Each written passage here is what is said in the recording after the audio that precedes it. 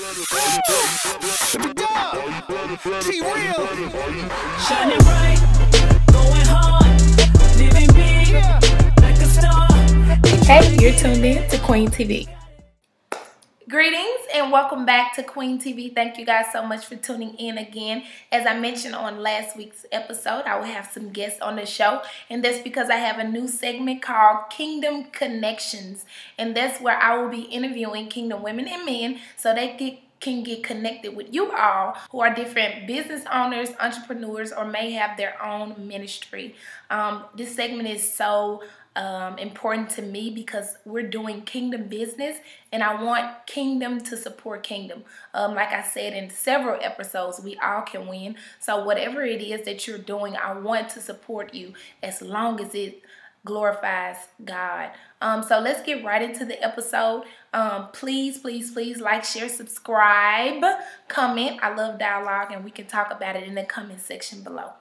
Let's check it out. I am sitting with founder, CEO, owner of Made for More Christian Apparel, Miss Perpetual. Hey, Pep y'all. Chris. So I'm gonna actually let Pep kind of start the the interview off with just telling us um what was her purpose behind starting Made for More Christian Apparel. Okay, I'm glad you asked. Hey, you guys. So, Made for More was basically birthed through my love for graphic tees, and um, it encourages people from different walks in life to just embrace their God given purpose. Um, we have our own plans, we do our own thing from time to time. I know I do.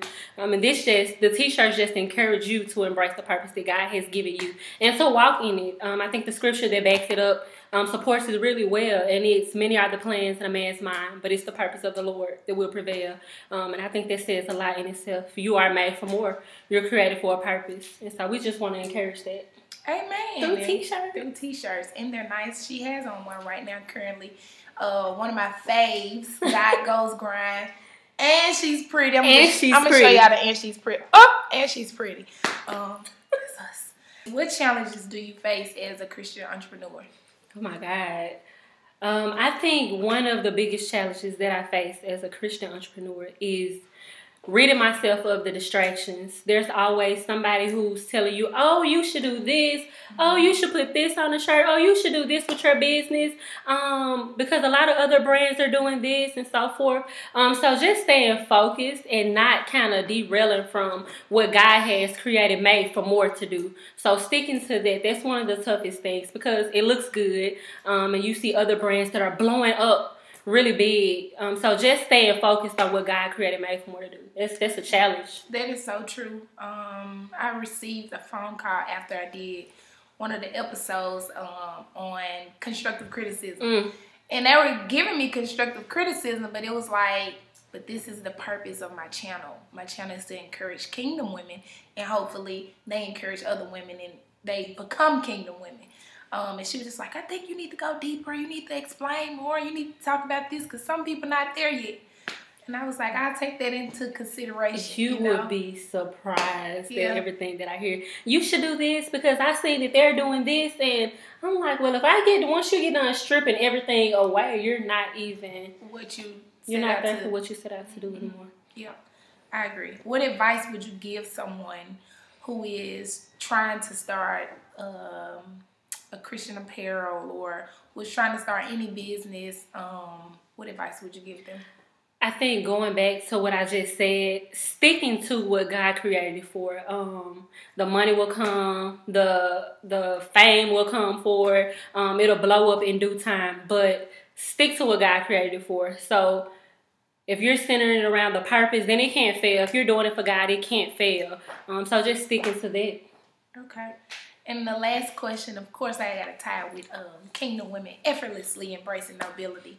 How do you feel you are effortlessly embracing your nobility? Um, y'all laughed at this question. I was like, oh, how am I? Um, but I love it. Um, I want to say that it's a it's a daily process. Um, I'm growing daily. Um, I'm learning daily. Um, I'm learning about um, how to be noble and how to walk in integrity. And even with the business aspect, I feel like that I, I do follow ups. I do different things to make sure that my business is noble. Um, so I do think that it's a learning process and that I'm just growing daily to make sure that I am meeting that standard that um, has been set by Christ. Amen. Thank you, Pip. Um, just tell them how they could follow you, how they can get shirts, how they could support you in your business. You can tell them now. Yay! So you guys, um, if you do have a moment, go follow Made the number four more Christian Apparel on Facebook. On Instagram, it's at Made the number four more underscore Christian Apparel. Follow us on um, IG, like us on Facebook. We do giveaways and everything. If you just want to be a blessing to the business, do email me at immade4more.com. We have big things coming up, and I do want to add you to our mailing list. So be sure to just stop by any of those pages. Thank you. Please connect with her. She is um, an awesome woman of God, and I support her. Yay. Um, so thank y'all. Thank you, Pip. Thank y'all. Um, we are here with another Kingdom woman. This is owner of Genn Franks Photography. This is Genn Franks. Hi. I'm gonna allow Genn Franks to tell us exactly what it is that she do. Um, so I am um Genn Franks, as Quita just told you guys. I provide um return tickets to moments otherwise lost. In other words, photography. Yeah, so that's what I do. All right. And what was your purpose on starting Genn Franks Photography? I actually it was kind of by accident, honestly. So um I was doing art and I was cool. It was amazing, but I kind of felt like um how could I make this, you know, a lifestyle? How could I make this something that, you know, okay, I could pay my bills with like for real. Um, because at the end of the day, let's be serious. Like most artists don't really get on to after they die, and I can't. I couldn't wait to then. so um, I was thinking like, okay, God, what what now? What what am I gonna do? I um started taking pictures for my church for innovation, and it was a peace. It was a coolness. It was like, okay, um I felt like I had some purpose in it. It, it was like, okay, this is where you're supposed to be. Every time I did it, I was like, this is what I'm supposed to be doing. Mm-hmm. Um, so it kind of happened on accident. Which so was on purpose. Yeah, accidentally accident, on, on, purpose. purpose. Yeah. God be knowing what he doing. He be knowing. Um, and you're very good at what you do. You guys, I have so many pictures. I'm gonna show y'all that she has taken of me and just every birthday, every moment that she said. She likes to capture the moments that would otherwise be lost if she hadn't taken them. Um, so I want you to um, tell us some of the the struggles you deal with as a Christian who has a photography business. Just the debates on should I shoot this, should I not shoot oh this, all of it. Give us, you know, some of the struggles you face you know, being a photographer is being an art. Anything involving art is a very fine line. Mm-hmm. Um, it's like you could easily cross that line, and it's like, what is she doing? She what's over her? Um, the the hardest thing that I deal with is like, um, how people feel and i have to really be intentional about talking to god because it's like god should i post these or how how are people gonna what does this say about me? Mm-hmm. um as a christian as a business owner what does this say about me? Can i just say oh well i'm displaying my work. Oh is is that it? Um you know, it's it's it's you know, and I can easily say, well, you know, I don't, I don't care what people feel, I don't care what people say, but it's like, no, you do, right. you do care what people feel, you do care what people say. You want you want their business. Yeah. Um, so I think mostly um the struggles is, you know, the struggle is the feedback, the you know, the group messages, mm-hmm. the you know, the being side pulled, text messages, being pulled to the side. Baby, I will pull up. what was that? What, why did you post that? um, so yeah, that that would definitely be it. Okay. That would definitely be it. Um, what advice would you give someone who is um trying to start a photography business or um, any business in general, uh, what advice would you give them? I would definitely say glean from others, learn from others. Um, I was watching the Queen TV the other day. We all can win, and um, when I was starting out in photography and I was trying to, you know, come up under other people and watch them and go to their shoots, it was just kind of like they would kind of give me like just enough, or they didn't want me to know everything, so they'll kind of give me, um, oh, you know, you can do this, girl, and it was just kind of like you're not giving me the real. Like, what, yeah. are you scared I'm gonna take it? and take off, or what is glean from others. Be and, and once you get to where whatever you're doing, don't be afraid to share because your customers are your customers, mine are mine. It doesn't matter. You cannot show me, and I'm still gonna take off. Or you know, you can show me everything, and your business still thrives, still does what it's gonna do regardless. Um, so I would say, Glenn, I would say come up under people. I would say ask questions, write notes, call people, have you know, do what you need to do. Have tough conversations. Ask people for money. Yeah. Ask people for money. for real, like you need it. um, you need it to make money. So um, definitely, yeah, do that. Amen. Amen. Yes. Support every. We all can win. Like Definitely. like she said, use what you have, share that information. That person gonna share that information. And you don't have to hold it. Like, what's the purpose of holding it? You you learning from other people to give to somebody else. Exactly. Um, yeah, it's over seven billion people in the world. Everybody can win. If she starts a photography business, you can start one too. You can start a YouTube channel. You can start uh, a Christian apparel line. It's it's more than enough people to win. So and here's another thing too. It doesn't take anything away from you. and- By helping someone else, it doesn't take. You don't diminish. You don't anything. exactly. If anything, I feel like it makes you greater because you're saying, "Hey, I don't mind. Here's everything. Do you need anything else?" Yep. And when and when you give something to that person, they're gonna remember and they're gonna say, "Oh, girl, where you learn it from? Oh, this person taught me that." And now you're even helping more people that you don't even have contact with. Exactly. Um, but and like I said in the last episode, it takes something away from you when you don't do it, when you don't support, when you don't show, um, you know, love and those compliments and giving to an organization. It takes something away from you, believe it or not. Um, people see it, people notice it, and it's not cute. Be pretty, not petty. Okay. Uh, okay. Um. So last question. I'm, I'm enjoying this. This is kind of cool. Kingdom of connections come through. So how do you feel? And I'm, I just want you to know I'm so proud of you. I'm Thank so you. proud of you. Like it's it's crazy. How do you feel that you are effortlessly embracing your nobility? by growing, um, by growing and not afraid to share my growth. Um, it makes me feel so good when people come up to me and they're like, "Oh my God, Genn, I remember when you were um, what what was my first one? Um, Player. when I was player Genn and I had photogenic when I first started and it flopped and people were like, "Oh my God, I remember back then when I was borrowing a camera." Oh my God, my growth, like even, and, I didn't even see it because sometimes you're just going, you going, you going, and you don't acknowledge, you know, where you came from. I'm just going, I'm just doing shoots, doing shoots, and I'm not acknowledging like, oh my God, how much I've changed, how much my editing has reached another level, how much I've, you know, just everything like accepting my growth, listening to people. What's up? How did you feel about this shoot? T- mm-hmm. come to Quita, Quita. What's up with these? I don't know. Like, talk to me. Tell me. Tell me how does this look? How does this come off? And maybe a year ago I wouldn't have done it. I would have just posted and been like, well, oh well, I don't care how how people feel about it. Being growing in business and knowing it matters. Everything matters. When people message me back and they're like, oh, I didn't really like my photos. A year ago, I thought I was the stuff. What you mean you didn't like them? oh well. Well, now it's no. Okay, well, tell me what I can do better. Yeah.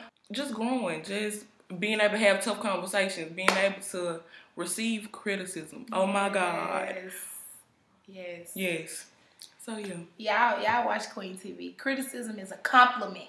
When It somebody wants to invest in you, you better take it. Uh, show, tell them how you they can support you and how they can follow you. You can follow me. I'm Genn Franks on everything. so that's G E N N Franks, F R A N K S Franks. Um, I'm Genn Franks on Facebook. I'm Genn Franks on Instagram, Snapchat, everywhere. So that's how you can follow You me. You know how to find her. Mhm. Book some shoots. Listen, She got you. Jenise, can you just tell us a little bit about uh, JP Hair Care and Pink Essentials and the entire brand and what it is that you do? Um, I'm a licensed cosmetologist first. Um, and JP Hair Care is um, a brand. Um, the name that I chose for my salon, and it comes from, well, at first it was my first and last name. Jenise Pepper is my maiden name before I got married.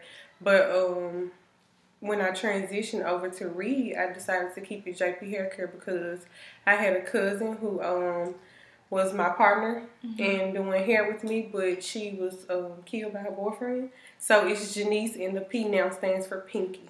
So I kept it JP Hair Care. So that's where the name comes from. And we also have a hairline, Pink Essentials, that we just launched in January of this year. Um, and I'm proud of that. And I thank God for pushing me to do so, and my pastor um, motivating us to step out on faith and just do some of the things that we've been wanting to do but holding back to do out of fear. I'm glad you said that it was challenging because that's actually the next question. Okay. Um, what are some of the challenges you faced as being a Christian entrepreneur? You run a business, and I know you have dozen and a lot of women in and out, and I know conversations are just ooh. How do you, you know, deal with those challenges? Um, most definitely, you do have uh, women that you encounter that comes from all walks of life.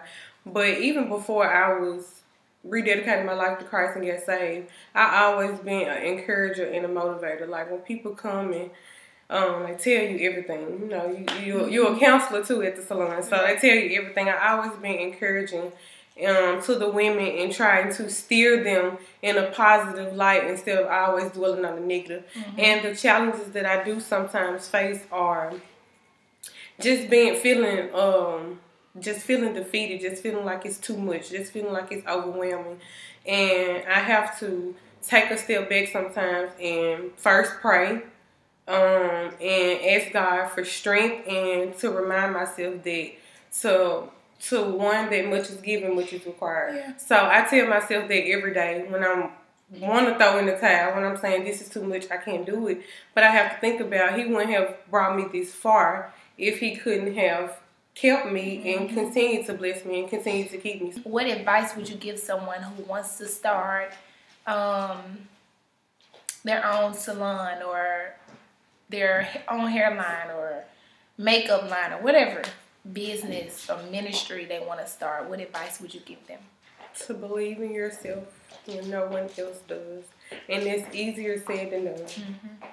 Um, for most people, it, by me saying it, I'm like, okay, mm, mm, believe in yourself. But you also have things that the enemy talking in your Yeah. mind, and you don't know it's the enemy because it's yourself speaking to yourself. It's not someone else's voice; it's your voice. So I would just most definitely say, um, to pray to God and, and first seek Him and ask ask Him first if this something if this is something that is for you. Is this your purpose? Is this your calling?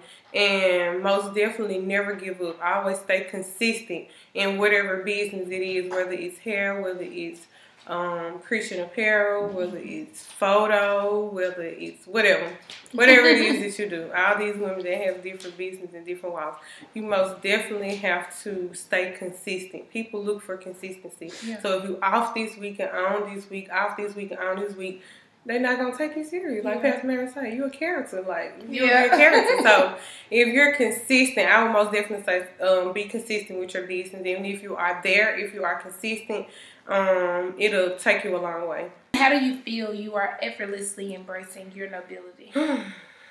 I just, I wasn't just out wilding out, but I did things without caring. I mean, I smoked weed before, and I feel like okay, um, I'm not doing anything wrong because I go to work. I don't bother anybody. I'm just, you know, I go home and I'm chilling. You know, so I feel like okay. You know, this is not bad. I'm not, you know, this not a sin like everybody else. She she twerking or she a stripper or you know, so uh, how Yeah. people are just so certain women are just out there. So I just feel like the little small things like the cussing every day, all day, which I still fall short in that area, but it's um something that I work on daily. I'm acknowledging it now. I'm working towards it, and I can really say um embracing uh, a woman embracing my nobility by living for him and putting everything that I do, I think about what would Jesus do. Anything with dealing with character or uh, connecting with other women, I'm always trying to put him first instead of the negative, instead of the pop offish attitude, instead of the rolling eyes and Yeah. just it's just all of that stuff. I feel like I'm embracing my nobility by putting him first and living for him in my business, in my personal life, um, checking and stopping people when I feel like they're crossing the line or coming too far into my lane, which uh, is causing me to, you know, trickle back into the ways that I'm trying to cut. Mm-hmm. So I just try to just live for him. Amen. So let the people know how they could support you, um, follow you. Um, just tell them. All right. So I have a Facebook page. Um, my business page is JP Hair Care, um, where you can go and see styles and um, hair products that I have for hair. And also, I will be posting up more. And I also have on Instagram. Um, Pink Essentials by JP Hair Care, and there's also the business page where you can see styles and also hair and um, different products that I may have and also my personal page. But this is just me. it might not be to your liking, but if you want to follow me on my personal page, that is Jenise Reid. So thank you. Thank you. I'm so glad you agreed to connect with us, Kingdom Women and men.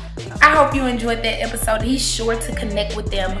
Go like their page, follow them, subscribe, support, purchase some items, book some shoes, get your hair done, buy some hair, um, and just support these kingdom women. Um, I am so proud of all three of them and um, be on the lookout for the next Kingdom Connections or maybe you could send me an email and we can get connected and I can have you next on the show. So as always, I love you, Christ love you. So Kingdom Women and Men, effortlessly embrace your abilities. See you Monday.